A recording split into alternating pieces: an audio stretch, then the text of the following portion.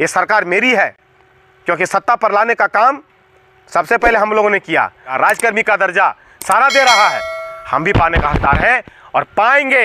हमको अगर सड़क के सड़क से सदन तक जाना होगा तो जाएँगे। आंदोलन करना होगा, आंदोलन करेंगे। कुर्बानी देने की फिर से कुर्बानी देंगे। कम से कम बिहार तो दे दीजिए। मान नहीं मिलेगा तो फिर से वही हुंकार दो हज़ार अठारह का मारा मैदान पर चलेगा और हम वेतनमान लेकर के रहेंगे यही। तो सरकार को अल्टीमेटम देने जा रहे हैं कि अब अब हमारा काम अगर नहीं होगा तो पंद्रह नवंबर के बाद फिर हम लोग आपके यहाँ घेरा डालो, डेरा डालो के तहत हम लोग आने वाले हैं और सरकार के खिलाफ लड़ाई लड़ेंगे।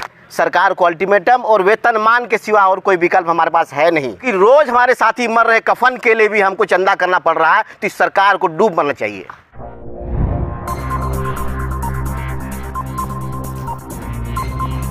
झारखंड राज्य प्रशिक्षित सहायक अध्यापक संघ की बैठक। 15 नवंबर तक मांग पूरा नहीं होने पर सरकार को उखाड़ फेंकने को दी चेतावनी। वेतनमान को लेकर आंदोलन की मूड में है सहायक अध्यापक संघ। झारखंड राज्य प्रशिक्षित सहायक अध्यापक संघ की बैठक बाबा घाट परिसर में हुई, जिसकी अध्यक्षता कार्यकारी जिलाध्यक्ष राजेश कुमार सिंह और गोपेंद्र यादव ने संयुक्त रूप से की। इस दौरान सहायक अध्यापकों ने एक स्वर में कहा कि 15 नवंबर तक उनकी मांग पूरा नहीं किया जाता तो सरकार को उखाड़ फेंकने की तैयारी की जाएगी। प्रदेश महासचिव सुमन कुमार ने कहा कि सहायक अध्यापकों में सरकार गिराने और बनाने को क्षमता है, यही कारण है रघुवर सरकार को गद्दी छोड़ना पड़ा। उन्होंने कहा कि चुनाव के समय हेमंत सोरेन के द्वारा वेतनमान को लेकर फ़ायदा किया था, लेकिन चार साल बीत गया, इस पर सरकार कोई पहल नहीं की गई है।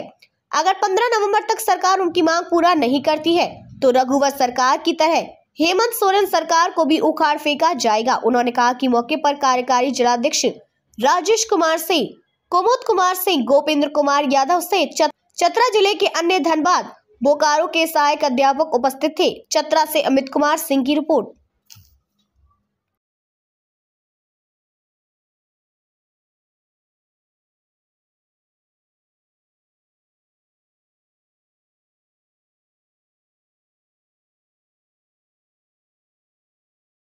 जो सरकार आज बनी है, उसके पूर्व में जब माननीय हेमंत सोरेन हर सभा में जाकर के इनकी सरकार बनने के बाद तीन माह के भीतर वेतनमान, स्थायीकरण, समान काम का समान वेतन देने की बात हर सभा में इन्होंने कही।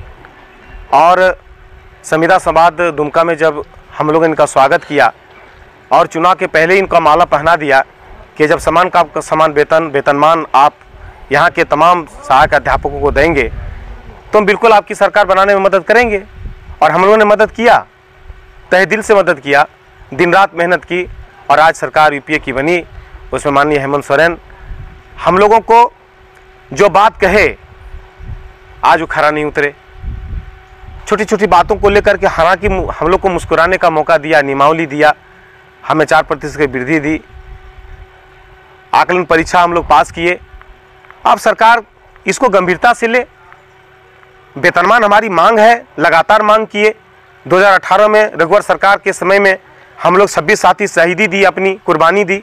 हम लोग जेल गए 300 साथी अपने महिला बहन के साथ हम लोग 22 दिन हटवार जेल में हम उस विषाक्त दिनों को काटा है।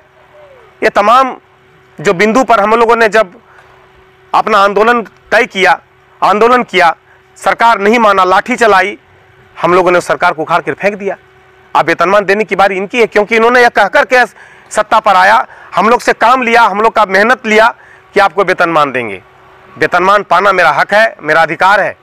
और मैं बता दूँ या कहकर चतरा की धरती पर जा, से जा रहा हूँ कि मैं, हम लोगों ने अपनी कुर्बानी वेतनमान के लिए दिया था।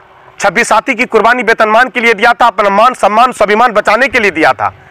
ये सरकार से कल्याणकारी सरकार है, ये सरकार मेरी है। क्योंकि सत्ता पर लाने का काम सबसे पहले हम लोगों ने किया। और उस समय को याद कीजिए कि रघुवर सरकार के समय अगर कोई विपक्ष होता था तो विपक्ष पारा शिक्षक संघ होता था एकीकृत मोर्चा उसमें थी और वह संघ होता था विपक्ष का भूमिका निभाया। वो सरकार को उखाड़ कर फेंकने का काम किया तानाशाही रवैया को खत्म करने का पर, पर, कोशिश किया प्रयास किया और उसका नतीजा परिणाम भी आपका सामने है। इस सरकार से हम गुहार लगाने आए हैं कि आप जो वादा करके सत्ता पर आए हैं पारा शिक्षकों के सहयोग से आप वेतनमान हमें दीजिए। हम आकलन पास, इकतीस आकलन पास हैं। आकलन ऐसा आकलन जो शायद हमको दस प्रतिशत से ज़्यादा पास नहीं करने का साजिश जो पदाधिकारियों ने रचा था, उसको दरकिनार करते हुए पचहत्तर प्रतिशत हम रिज़ल्ट दिया। और हम अब बिहार के तर्ज पर, वहाँ जिस तरह से टेट को और आकलन को, जिस तरह से दक्षता को समतुल मानते हुए सारा अधिकार, वहाँ वेतनमान का अधिकार, राजकर्मी का दर्जा सारा दे रहा है। हम भी पाने का हकदार है और पाएँगे। हमको अगर सड़क के सड़क से सदन तक जाना होगा तो जाएँगे। आंदोलन करना होगा, आंदोलन करेंगे। कुर्बानी देने की फिर से कुर्बानी देंगे। लेकिन हम अपना अधिकार, अपना मान, अपना सम्मान और जो शहीद साथी छब्बीस साथी शहीद हुए हैं, उनका तहे दिल से श्रद्धांजलि देने का काम हम करेंगे वेतनमान लेंगे और हारत में लेंगे। यही करने के लिए आए हैं। हम, कोई गलत मांग मेरी नहीं है। ये हर हर सभा में आप देख सकते हैं, आपके पास ऑडियो होगा, वीडियो होगा। आप देखिए कि किस तरह से हम वेतनमान वो देने के लिए वो तरस रहे हैं और हम लोग पाने के लिए आज तरस रहे हैं। सरकार को याद दिलाना चाहते हैं कि, हेमंत भैया, आप मेरे हैं, हम आपके हैं। आप हमारा दुख और दर्द को समझते हैं। आज हमको इतना मानदेय नहीं मिलता है। कि अपने बच्चों को, अपने परिवार को, अपने अपने माँ बाप का इलाज हम अच्छे तरह से करा सकें। आप हम मेरे बारे में सोचिए, मैं ज़्यादा कुछ नहीं माँगता। लेकिन कम से कम बिहार तो दे दीजिए। जो निजी शिक्षकों को मिलता वो तो दे दीजिए। हमको आप समर्थन मत करिए। लेकिन जो राजकर्मी का दर्जा, वो तो दे दीजिए। हम इतना बड़ा जो जैक ने एग्ज़ाम लिया और एग्ज़ाम लेने के बाद आज इकतीस हज़ार सहायक अध्यापक और जो प्रशिक्षित हैं, उनको भी मौका दीजिए, उनको भी वेतनमान दीजिए, क्योंकि बिहार हर कैटेगरी के लोगों को वेतनमान दे रहा है। मैं किसी एक साथी को छोड़ना नहीं चाहता। मैं, हमारा संघ सभी के लिए वेतनमान की लड़ाई लड़ रहा है मान सम्मान के लिए लड़ रहा है। इसीलिए आज चतरा की धरती पर कहने आए कि संगठित रहिए और इस सरकार से उम्मीद है कि वेतनमान मिलेगा। और अगर वेतनमान नहीं मिलेगा तो फिर से वही हुंकार दो का मारा मैदान पर चलेगा और हम वेतनमान लेकर के रहेंगे। यही बात हम आगाज़ करने के लिए आए धन्यवाद। सुमन कुमार झारखंड राज्य प्रशिक्षित सहायक अध्यापक संघ प्रधान सचिव। आज चतरा जिला में हम लोग संगठन को मज़बूत करने आए हैं और संगठन और चतरा जिला के साथियों को जगाने भी आए हैं कि जिस दिशा में हम लोग चले थे, रघुवर सरकार के खिलाफ हम लोग लड़े थे और रघुवर सरकार को हमने उखाड़ फेंका। आज अगर हेमंत सरकार पीछे हटी तो हम लोगों को फिर एक बार हुंकार भरना पड़ेगा। क्योंकि सरकार जिस वादे के साथ सत्ता में आई थी, वो वादा को पूरा करने में अब थोड़ा सा विलम्ब कर रहा है और हम लोगों का धैर्य भी टूट रहा है। आप देख रहे हैं कि राज्य में एक ऐसा परीक्षा हुआ, जो काफ़ी कड़ा परीक्षा, जिसको पास जिसको देखने के बाद लगता है कि नहीं, हम लोग क्या आई परीक्षा दे रहे हैं क्या? लेकिन उस परीक्षा में भी राज्य के पचहत्तर प्रतिशत सहायक अध्यापक पास हो गए हैं। ये बड़ी खुश बड़ी खुशखबरी है, शुभकामनाएँ हैं।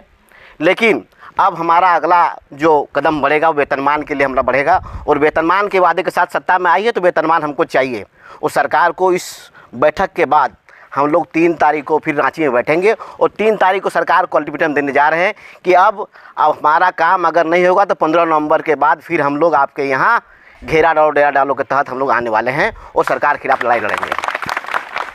तमाम साथी जो आज हम लोग विभिन्न प्रखंडों से आज, हम लोग लगता है हम लोग आज यहाँ के बाद हम लोग पाँच तारीख को संथाल में भी हमारी बैठक है, वहाँ आठ जिला के लोग बैठ रहे हैं, वहाँ भी हम लोग फीडबैक लेंगे तमाम जिला के साथियों से और उसके बाद हम लोग नवंबर से पहले सरकार को अल्टीमेटम और वेतनमान के सिवा और कोई विकल्प हमारे पास है नहीं।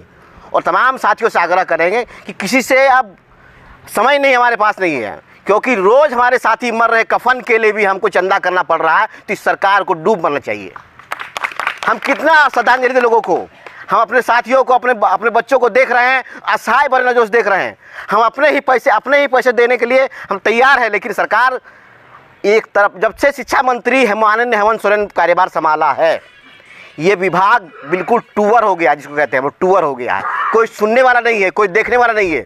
तो हम, अब अब हमारा धैर्य का बाँध टूट रहा है। सरकार को अल्टीमेटम देने जा रहे हैं कि सरकार अब नींद कुंभकर्ण नींद से जागे और हमारा काम करे, अन्यथा फिर उलगुलान होगा उलगुलान होगा। मोहम्मद शेख सिद्दीक प्रदेश प्रदेश अध्यक्ष। मेरा नाम पिंकी राय है। हम बोकारो से महिला मोर्चा के।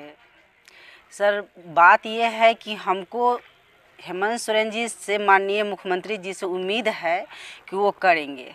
ठीक है? अब ये लोग बोल रहे हैं, संघ वाले लोग तीन तारीख को बैठेंगे तो हम लोग बैठेंगे। देखते हैं, मांग के क्या कहते हैं, नहीं कहते, उस पर फिर बात आगे बढ़ेगी। लेकिन अभी तक जो भी है छोटा छोटी मुस्कान तो दिए हैं चेहरा पर। ऐसा नहीं कि नहीं कह सकते हैं कि वो कुछ नहीं दिए हैं, बहुत कुछ दिए हैं। नियावली उन्हीं के राज में मिली। तो यही बात है सर। आगे जो भी होगा हम लोग अब रांची में होगा। जो मांग आप लोग का तो वो तो वो तो सर। वेतनमान की मांग है वो तो उनको देना पड़ेगा। और हमको लगता है कि वो जाते जाते दे के जाएँगे। इतना तो उम्मीद है उनसे हम। क्योंकि नियमावली वो दिए हैं तो वेतनमान भी तो वही देंगे ना। बस सर और क्या बोलेंगे सर? ठीक। आज झारखंड राज्य प्रशिक्षित सहायक अध्यापक संघ के प्रदेश नेतृत्वकर्ता चतरा की धरती पर आए हैं। मैं प्रदेश कमेटी को आश्वस्त कर देना चाहता हूँ कि चतरा की धरती आज़ादी के समय से वीरों की धरती रही है। और आज चतरा से उलगुलान होगा। और जिस तरह 2018 में हम लोग ने रघुवर शाही को ख़त्म करके नया सत्ता स्थापित करने का काम किया 2019 में हम लोग अगर हमारी काम नहीं होती है तो 2019 में 2024 में हम लोग हेमंत शाही को भी समाप्त करके नया सत्ता स्थापित करेंगे। मित्रों चतरात की धरती से जो उलगुलान हुई है, हमारे प्रदेश के नेतृत्वकर्ता लोग समन्वय स्थापित में लगे हुए हैं और निश्चित तौर पर 15 नवंबर के पहले हमारा समन्वय स्थापित होगा और हम रांची की धरती को उसी तरह से फिर जाम कर देंगे, उसी तरह से अंजाम देंगे कि वही, वहीं से उलगुलान सत्ता का परिवर्तन हो जाएगा। और मैं ये विश्वास दिलाता हूँ प्रदेश कमेटी को कि चतरा की धरती का उलगुलान पूरे झारखंड में आग की तरह फैलेगा, और ऐसा फैलेगा कि सत्ता परिवर्तन के लिए किसी को कहीं जाने की आवश्यकता नहीं होगी। हम लोग वो शक्ति हैं कि निर्माण और प्रलय हम लोगों की गोद में बसती है। हम लोगों ने प्रलय भी दिखाया है और निर्माण भी दिखाया है। हेमंत सर- सरकार से हम लोगों को काफ़ी उम्मीद है। अगर ये उम्मीद हम लोग को नाउमीद में बदल गया तो हम लोग सत्ता परिवर्तन करने के लिए काफ़ी हैं? मुख्य मांग ये सरकार आई थी सरकार के घोषणा पत्र में था कि हमारी सरकार बनने के बाद तीन माह के अंदर हम आप लोगों को वेतनमान का तोहफा दे करके सबके घरों में खुशी लाएँगे। ये चार साल बीतने वाला है आने वाला वर्ष चुनावी वर्ष होगा। अगर सरकार इसमें हम लोग को वेतनमान अंतिम वर्ष में नहीं देती है तो हम लोग इसके विरुद्ध उलगुलान छेड़ने में के लिए मजबूर हो जाएँगे। और इसके लिए सारा जवाबदेही सरकार की होगी।